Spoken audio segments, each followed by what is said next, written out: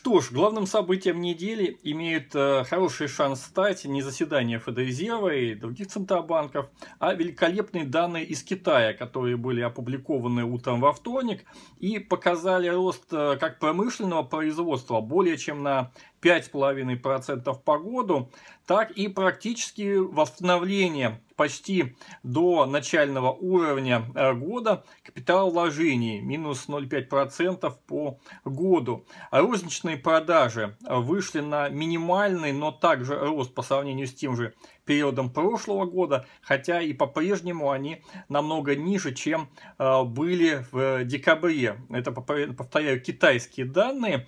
Э, даже помогли в какой-то степени эти цифры отскочить э, и ценам на нефть. Хотя и ненадолго, но они приподнимались выше 40 долларов за баррель. Но достаточно быстро участники рынка нефти вспомнили, что ОПЕК пересмотрела свои прогнозы на конец года по объемам спроса, снизив эти объемы э, потенциального спроса на 400 тысяч баррелей к концу 2020 года, и что в целом э, давление оказали скидки, которые саудиты предоставили азиатским покупателям, то есть не очень хороший, разумеется, это признак для нефтяного рынка, там по-прежнему не переработаны до конца те объемы, которые были закуплены ранее. Вот. Тем не менее, да, как бы мы видим, что даже здесь, как бы, в общем, в достаточно упадническом настроении находящаяся нефть несколько среагировала. В основном же, конечно, данные из Китая, они позволили, во-первых, приободриться фондовым площадкам, которые начали потихонечку э, делать робкие уже попытки выйти из э, технической коррекции, которая несколько дней продолжалась. Не факт, что это окончательный уже рывок, возможно, дождутся Федрезерва, возможно, дождутся каких-то еще реакций уже технических по ведущим акциям. Тем не менее, такие подвижки пошли. Прибавил европейский рынок, Американский тоже, ну, во всяком случае, по состоянию дел на э, старт американской сессии подрастает. Немножко покупки пошли даже в техническом секторе, хотя его, в общем, постараются все-таки рынки избегать в определенной степени. Сейчас больше пока прибавляют э, бумаги такие середнячки хорошие из розничного сектора, там такие как Макдональдс, э, бьющие вот рекорды месяц за месяцем, там или Starbucks, Coca-Cola, Walmart неплохо себя относить, ничего, можно вот на них посмотреть, наверное, обратить внимание побольше. Boeing слегка прибавил. Вот такие бумаги, которые, в общем, не уверены были, стоит ли им расти последние несколько дней особенно. Соответственно, вот э, по ним какие-то хорошие пошли подвижки. Ну и прибавила, собственно, китайская валюта. Вот это, наверное, наиболее заметное движение начала недели. Доллар к юаню, который недавно еще совершенно там стоил в районе 7 э, юаней, юаней, да, совсем недавно. Сейчас он уже котируется по 6,77 и даже, по-моему, был чуть ниже. Буквально за последние сутки юань именно прибавил. То есть видно, что рынки позитивно оценивают, что Китай восстанавливается быстрее всех. А, кстати, вышли данные по американскому промышленному производству, и они, в общем, вышли так себе на уровне не сильно отличающимся от нуля. Э, соответственно, несколько, может быть, охладили здесь они пыл американских рынков, но сравнение в валютах, да, очевидно сейчас, несмотря на угрозы различные э, США отцепить свою экономику от Китая, несмотря там на поглощение ТикТока и всякие такие хайповые другие истории, в целом э, рынки верят в то, что Китай восстановится быстрее всех.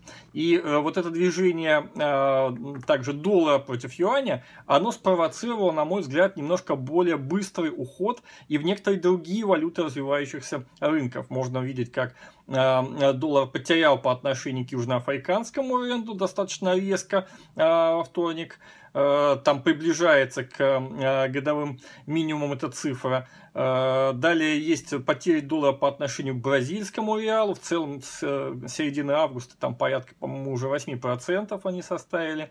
И есть приток также и в индийские активы. И немножко даже на этом фоне прибавил рубль. То есть в целом мы видим, что развивающиеся экономики, да, они начинают привлекать инвесторов и на фоне той коррекции, которая произошла, и на фоне понимания, что нет повода, с другой стороны, каких-то таких уж совсем резких уходить в доллар как защитную валюту, да и не такая уж она защитная. Вот эта вот ситуация, она, может быть, э, как-то активизирует движение э, валютного рынка и до конца недели, хотя валюты резервные остальные, они более скромно действуют, там евро-доллар в коридоре, там не, превосходящем пока особо района 1.19, опасаются все-таки подниматься пока выше, ввиду заседания ФДР в том числе.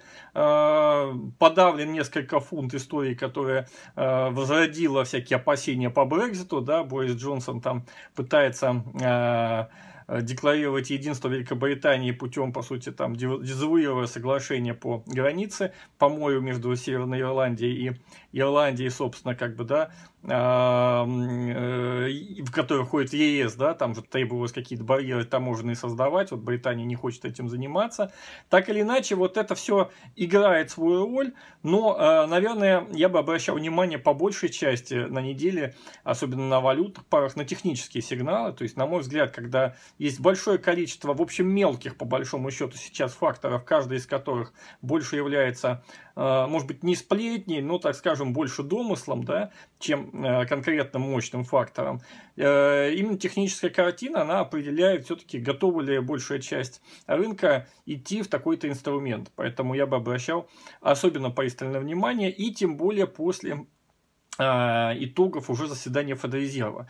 Из Федрезерва, конечно, здесь важны не решения по ставкам, они очевидны, ничего не будет изменено, и э, даже не э, декларирование каких-то стимулов будущих, только если там Федрезерв совсем захочет рынком преподнести там в этом плане будет мощный сюрприз, что вряд ли, поскольку осталось два месяца до выборов, и резкие шаги, редко бывают такие периоды э, в американской финансовой системе, не принято это. Также можно говорить, что главное это все-таки экономические проекции, так называемые, то есть оценки состояния экономики до конца года, американской экономики и глобальной, которые раздаст Федрезерв. И вот в зависимости от этого могут себя вести и валютные пары, да, и э, индексы. Причем э, хорошие оценки для экономики США, если они будут более хорошими, что вряд ли, да, но эти хорошие оценки, они могли бы как раз, может быть, спровоцировать более быстрое движение из доллара в другие валюты, поскольку хорошая новость – это новость, от которой не надо бежать в доллар. Вот такая логика, она продолжает присутствовать. В целом, видя, что не очень вышли цифры по промышленному производству, но при этом хорошие данные с рынка труда все время выходили, э, есть вероятность, что Федрезерв как бы себя и э, экономику похвалит, но может принять и тон как бы некоторого снижения прогнозов для того, чтобы оправдать мощную работу печатного станка. В этом случае может быть небольшая какая-то волатильность на валюту валютных парах, а, где они будут искать сказать, себя в коридорах. Но э, вот увидим непосредственно уже по складывающимся к концу недели, может быть даже к четвергу уже, техническим, повторюсь, сигналом интрадей, готовы ли различные другие резервные валюты к какому-то дополнительному всплеску, рывку, может быть, против американского доллара, или же нет, и это будет отложено на более поздние периоды времени. А, заседает также Банк Англии в четверг и Банк Японии. Опять же, да, от них ждут в основном экономических оценок. Поэтому смотрим э, на то, хорошо они держат как бы нос кверху или же тоже э, говорят о неопределенностях, сложностях, там, я не знаю, рисках второй волны и все такое прочее. Соответственно, любой сейчас регион мира, который сигнализирует о каком-то негативе, может повлиять на ближайшие движения, на колебания, повторюсь, конечно, фондовых индексов, не в лучшую сторону. Но если они будут в целом придерживаться линии, что при этом меры приняты и работают, и мы молодцы, все сделали как надо и будем делать дальше, вот эта линия максимально представлена ЕЦБ. Вот ЕЦБ именно четко такой линии держится. И мы видели, что в целом ЕЦБ понравилось, э, понравилось поведение ЕЦБ рынкам. Если будет в таком ключе больше, то значит выход из вот этой текущей технической, текущей фазы коррекции может произойти раньше, в новую волну роста, в такую еще один виток спирали. Поживем, как говорится, увидим, но я бы обращал внимание вот на перечисленные события и не, там, не смотрел бы особо на цифры по инфляции, которые выходят. Ясно и так, что, в общем, сейчас эти данные не влияют на политику центральных банков, а никакой другой точки зрения они рынки как бы интересовать не могут. Поэтому неделя в целом предстоит, может быть, хлопотная в плане количества небольших э, и более крупных событий, но при этом, с другой стороны, относительно простая, в том смысле, что я бы реагировал на эти происходящие события в основном через призму теханализа, где будет собрано на действующих всех факторов.